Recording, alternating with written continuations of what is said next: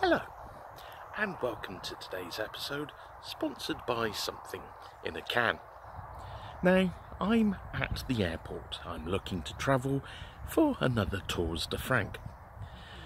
And people ask me, Frankaroonie, what sort of behaviour should I exhibit dans l'airport?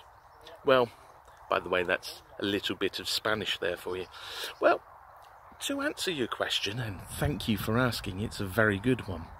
You should never stand in the runway because these concrete uh, monstrosities will get very busy from time to time with taxis and luggage compartments.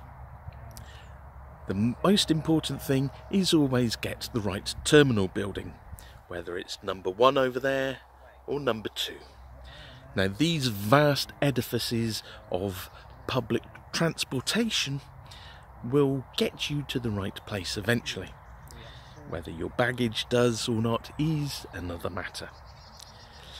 So, anyway, this is the airport. Treat it well, and it will whisk you away to pastures. Gorgeousness. Whatever that means.